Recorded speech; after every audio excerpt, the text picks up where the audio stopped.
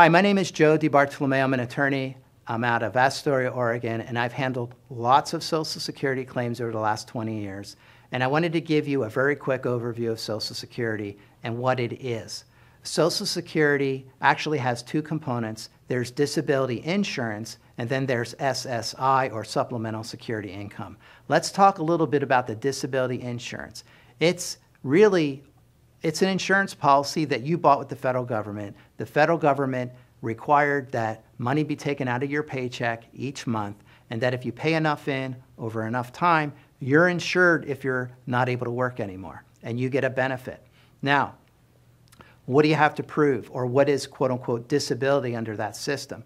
Well, again, it's like an insurance policy, so we go to the definitions in the statute and pretend it's an insurance policy.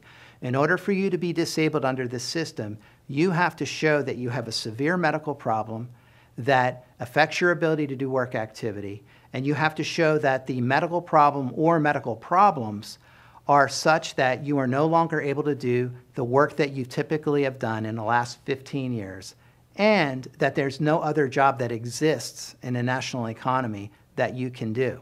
So, if you were working a construction job and you suffered a serious knee injury and you're no longer able to climb ladders, that's going to take you out of a whole category of work. But then the issue becomes do you retain the ability to do other kinds of work?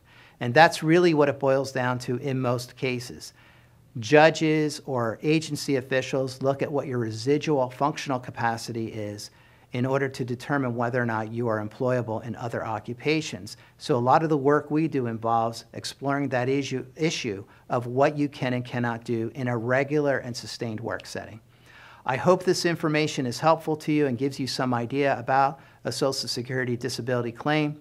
If you have other questions, you can look at our website. We have some very good blog posts. We have good articles, free reports. We have a free book that we offer as well.